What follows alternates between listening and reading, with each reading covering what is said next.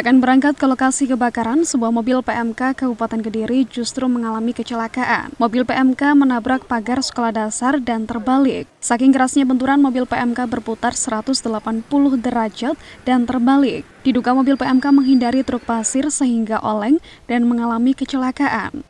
Beginilah kondisi mobil PMK yang mengalami kecelakaan di Jalan Raya Pagu, Kecamatan Pagu, Kabupaten Kediri. Mobil PMK dengan nopol AG 8147GP terbalik usai menabrak pagar sekolah dasar Pagu 1.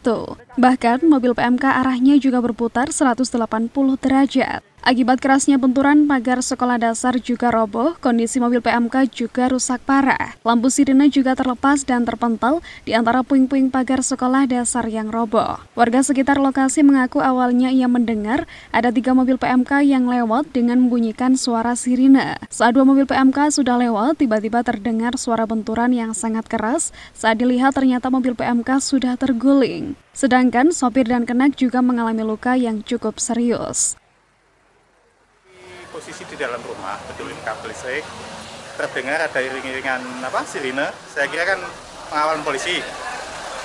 Ternyata satu dua ketiga langsung truk keras sekali kayak kayak apa ya kendaraan besar yang adu banteng itu suaranya keras banget gitu. Itu nabrak apa pak?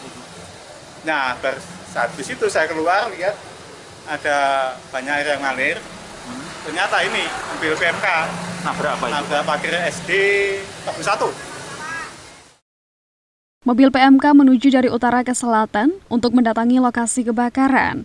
Namun karena menghindari truk pasir, satu mobil PMK oleng dan menabrak pagar sekolah hingga terbalik. Sopir mobil PMK Muhammad Abdul Qasim mengalami luka yang cukup parah dan harus dirujuk ke Rumah Sakit SLG Kabupaten Kediri. Sedangkan kenak mobil PMK Ihyar Ulumuddin mengalami luka ringan dan dirawat di Rumah Sakit Aura Shifa Pagu Kabupaten Kediri. Kasus kecelakaan tersebut kini ditangani oleh Satlantas Polres Kediri.